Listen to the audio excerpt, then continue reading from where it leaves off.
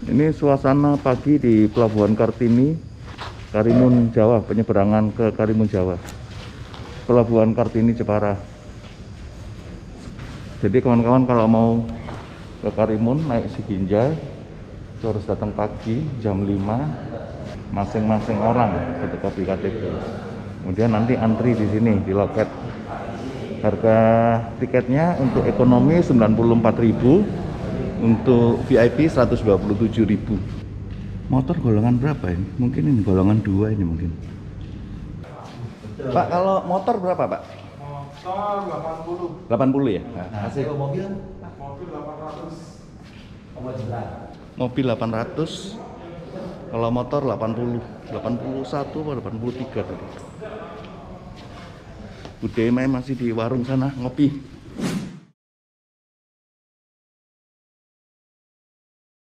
Sebagian mobil-mobil yang sudah datang antri itu motor-motor.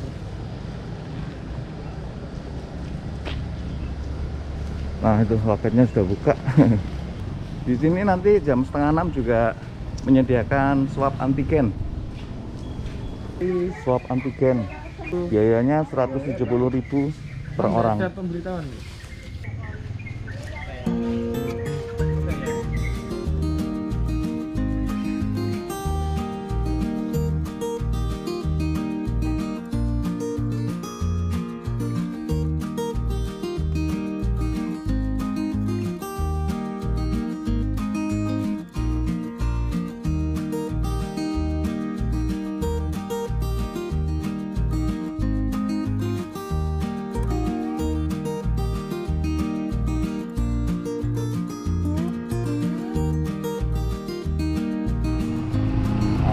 Suasananya.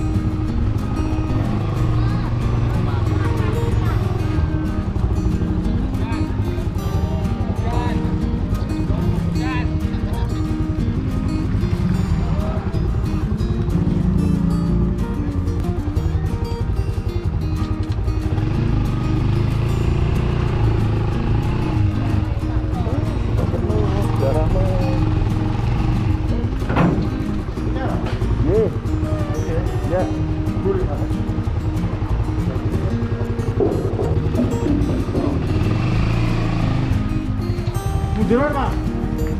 Mudiran. Pak ini aman ini Pak, tasnya ditaruh situ atau dibawa aja? tas Oh. yang penting dibawa yang penting Oh, yang yang berhasil. yang yang penting untuk Iya, dibuka-buka iya. dibawa aja. Delapan. Nah,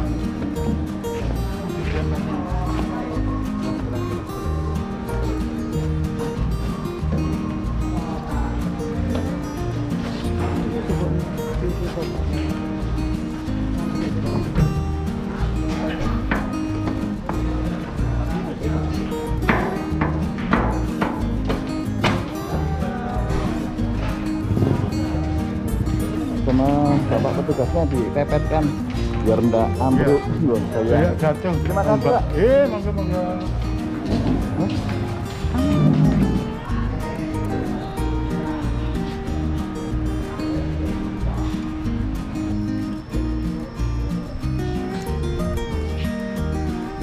Ini suasana kelas ekonomi.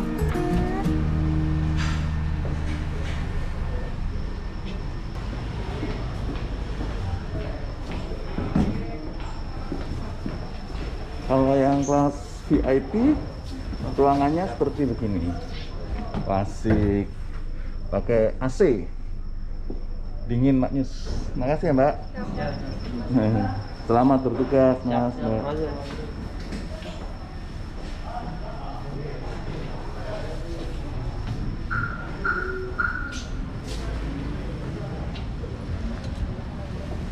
itu biru itu ekspres bahari itu penyeberangan ke Karimun Jawa yang ekspres kereta eh kereta. Kapal cepat. Tadi saya ngelihat biayanya eh, 160.000 untuk yang ekonomi yang VIP 190.000 cuman jadwalnya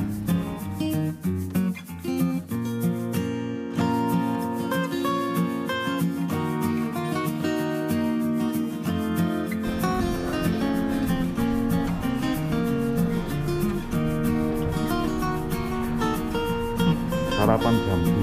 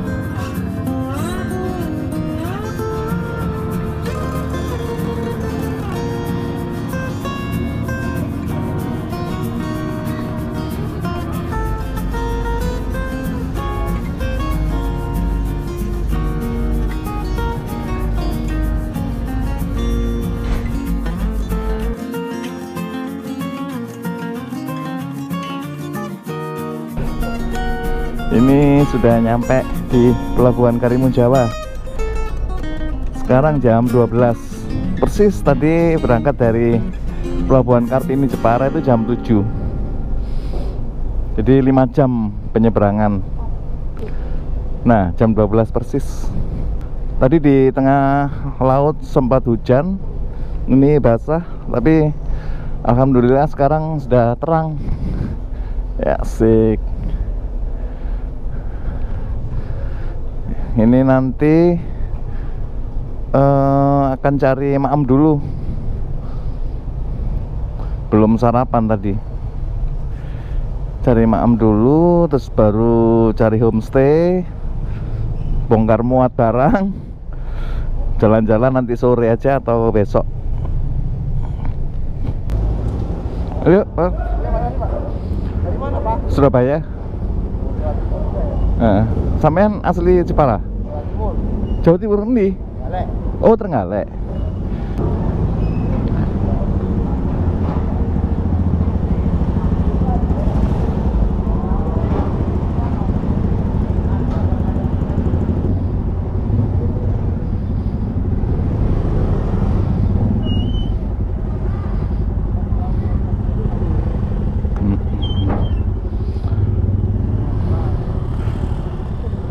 Alhamdulillah, selamat datang di Karimun Jawa.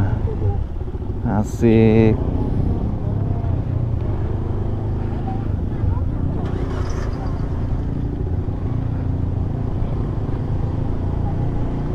Pertama kali yang harus kita lakukan adalah golek warung. Lu wewe. Jadi di Karimun Jawa ini ada dua yuk. Ada dua pelabuhan. Pelabuhan feri Siginjai dan pelabuhan eh, kapal cepat Ekspres Bahari di sebelah sana. Lautnya? Kenapa? Lautnya. Iya. Heeh. Iya, laut snorkeling. Oh, belum, belum. Oh, aku ada Pak. Ada nomor kontaknya mana? Ini kontaknya. Apa, Pak? Aku minta nomornya Bapak aja. Enggak nanti hubungi. Nyari makan dulu aku mbak. Heeh. Di alun-alun, Bu. Iya. Tahuan nggak? Enggak, emang kalau orang datang langsung ke Heeh. Namanya Warung Sintang. Iya. Warung Sintang. Eh, Mbak siapa namanya? Vita. Mbak Vita. Makasih ya, Mbak. Iya, Saya mau makan di sini. Iya, Pak. Yo, Mbak Cinta. Vin Vinta. Kota Suci.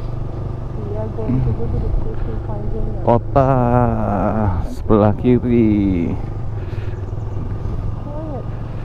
Wah, ada pom bensin.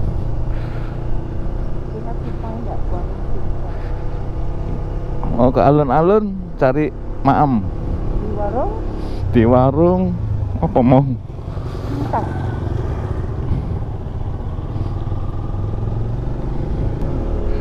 Coba ini asik ki. Ah, banyak tempat asik di sini.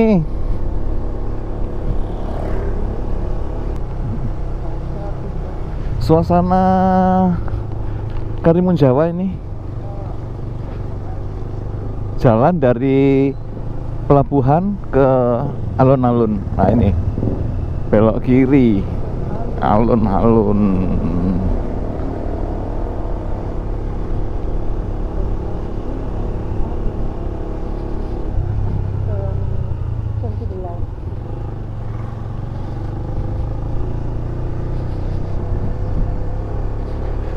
ke 11 karena pulaunya nggak terlalu besar ini sebenarnya asik ini buat rombongan sepeda. Jadi rombongan goes keliling Karimun Jawa. Wah keren. Bawa sepeda. Ini ini alun-alunnya. Itu warung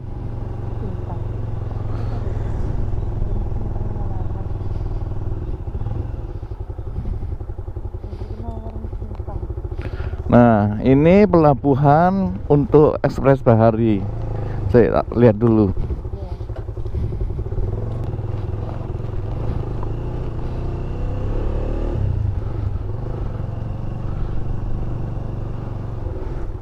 Nah, ini pelabuhan untuk kapal ekspres bahari.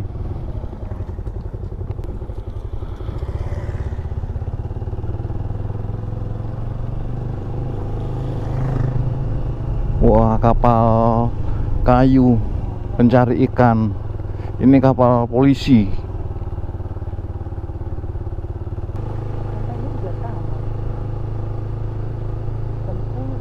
Nah, ini Ekspres Bahari sudah datang. Padahal tadi yang berangkat si Ginjai dulu. Tadi yang berangkat si Ginjai dulu 5 jam. Kalau Ekspres Bahari 2 jam.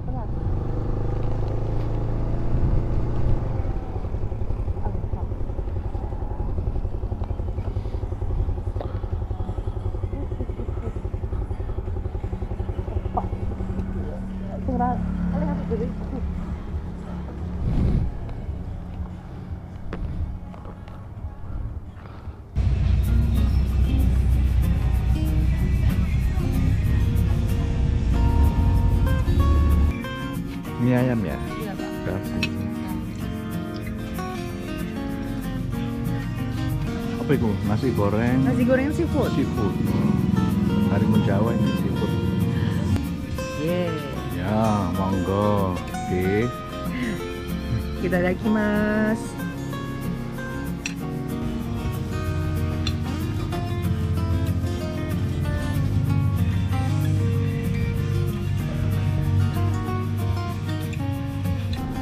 Tadi habis jalan-jalan sambil ngeliat ngeliat lokasi sambil cari penginapan dan sekarang ini dapat di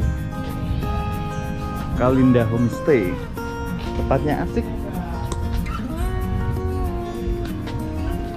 Jadi Kalinda ini selain homestay, dia juga jual ada roti, ada es krim, ini ada Mbak Lita. Halo. Eh, ayo Kamar nyentrik keren. Asik. Asik. Akhirnya menemukan kamar yang dicari-cari. Belakangnya kayaknya fans Led Zeppelin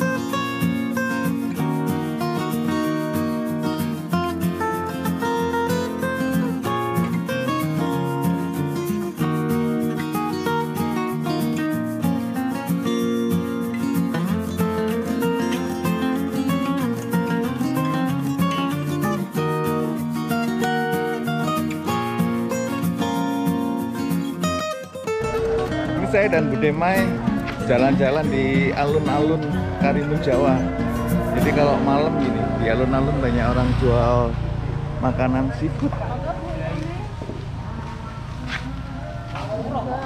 Ikan apa ini, Bu? kakap merah. Oh, kakap merah yang cilik-cilik. Ini gede-gede. Kakap putih. Kan ya.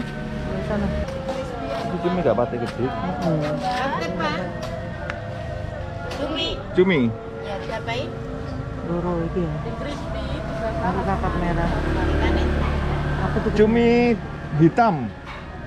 Oh, enggak ada hitamnya. Oh, enggak ada. Dibersihin. Hitam-hitamnya dibuang. Oh, jadi buang. Kalau enggak enggak dibuang itu ikannya Oh ya, berarti biasanya dimasak apa? tiba crispy, Nah, ini udang topeng. Terus kakap merah. Ini cumi bakar. Hmm. Iya, udang topeng ya. Jadi katanya ra- rasanya seperti lobster.